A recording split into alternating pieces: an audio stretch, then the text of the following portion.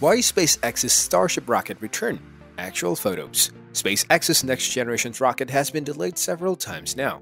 However, SpaceX has revealed that the world's most powerful booster, the Super Heavy, is about to head to space for the first time ever this week. Let's take a look at how SpaceX managed to bring this turnaround so quickly.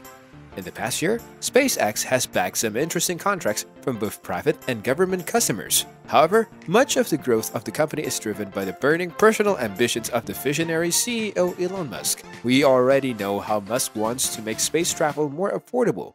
However, his biggest ambitions is to put people on the red planet. To achieve this, Musk is overseeing the development of the most powerful rocket ever, the Starship.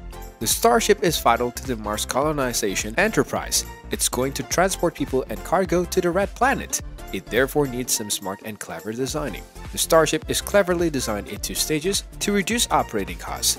The upper stage is called Ship or Starship and the lower stage is called Super Heavy.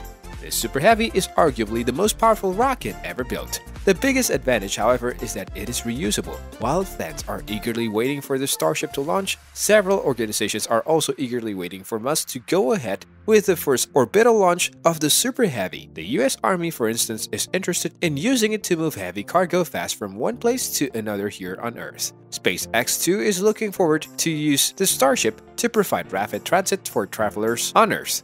Musk has also demonstrated the immense potential contributions of the Starship to space research. He explained how the Starship launch can transport heavy-duty equipment scientists can use to discover and explore other planets. Up until now, all the testing and development on the Starship has been suborbital.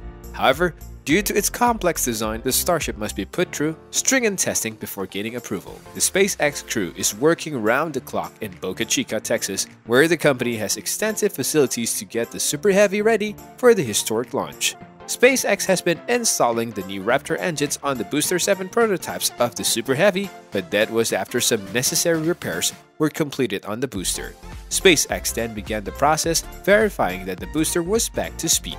This was promptly followed by filling the tanks to the brim with at least 3,000 tons of liquid nitrogen and oxygen in what is known as a cryogenic proof test. Less than 48 hours after completing its first post-repair test, Booster 7 nailed another full cryo-proof test. Days later, SpaceX attached a crane to Super Heavy B7 and removed it from the orbital launch mount before rolling the rocket back to Starbase's build site. Musk did not disclose any details, but fans were excited about the installations of the more powerful version 2 Raptor rocket engines. The Booster 7 has room for 33 Raptor engines, producing about 7,600 metric tons of thrust when they are all firing together. It was later reported that SpaceX was rapidly working towards a static fire campaign that would qualify the booster for flight.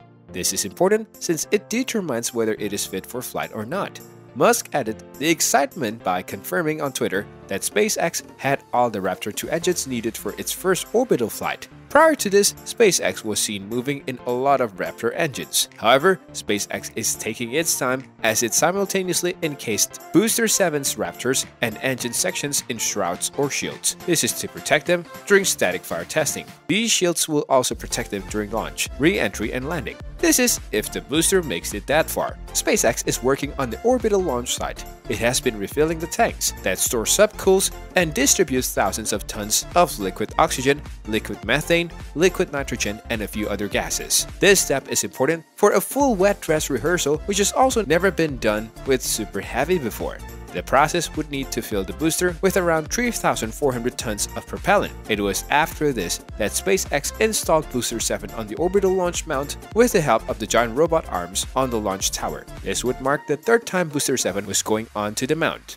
Last month, while on the mount, Booster 7 experienced an unexpected explosion and fireball. Although Musk revealed the damage was minor, it still needed a trip to the factory. What happened was that this may have been a partial wet dress rehearsal which dispersed a cloud of methane gas found in an accidental ignition source and exploded with a force which according to one observer was equivalent to several pounds of TNT. SpaceX quickly emptied Booster 7 of its propellants to prevent more explosions. Musk said the Booster 7 would return to the launch mount within a week. The repulsions may have helped SpaceX to gather crucial data to improve the performance of Raptor 7 engines and the heat shield. If the Super Heavy returns quickly, it means the prototype is mostly in great shape after such a violent anomaly. That would hold well for the rocket's durability during future ground and flight testing. If the opposite is the case, it's time for SpaceX to reconsider whether the Booster 7 is fit to support Starship orbital launch debut. Well, that's all for today's video. Hope you enjoyed watching this one. Thanks for watching.